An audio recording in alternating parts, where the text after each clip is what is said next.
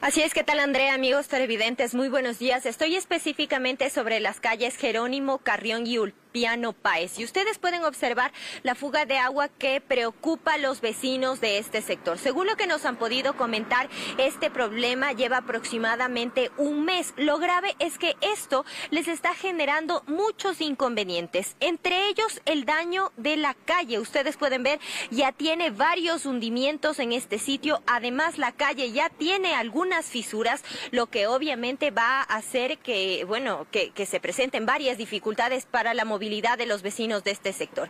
Estamos a esta hora con una de las vecinas, doña Magdalena, muy buenos días. Coméntenos, bueno, primero los inconvenientes que están teniendo debido a esta fuga de agua.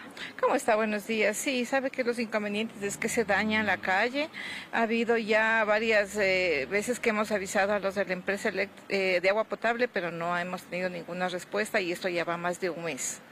Ahora, vecina, ¿cuántas veces ustedes al menos ya han hecho el pedido al personal del EMAPS para que venga a realizar el arreglo y no han tenido respuesta? Hemos hecho unas cinco llamadas y no, hemos tenido respuesta alguna.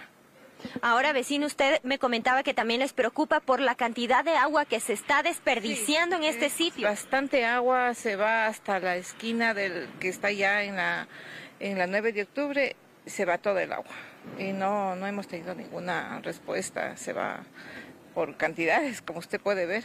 Así es, vamos a acercarnos un poquito a este sitio porque quiero que ustedes observen en dónde encontramos que está el, el, ojo de agua. Miren, nosotros incluso podemos aquí topar un poco, ya se empieza a hundir el pavimento. Por acá hay otro ojo de agua que es bastante, bastante evidente también. Miren, aquí se observa claramente, miren, ahí acaba de salir burbujas. Por aquí es, este es uno de los ojos de agua y aparentemente existiría otro en el lado de allá. Sin embargo, la cantidad de agua que se está desperdiciando es eh, bastante y esto es lamentable porque mientras en unos sitios se desperdicia, llaman a la empresa de agua potable a que realice el arreglo para que no se desperdicie el agua, no se dañe la calle. Bueno, en otros sectores de Quito se quejan porque no hay agua potable. Así es, no es justo que aquí se desperdicie. Imagínense en la sequía que nos encontramos, no hay agua y vean los árboles aquí al lado y están secos y sigue yéndose el agua. O sea, es esto no es posible.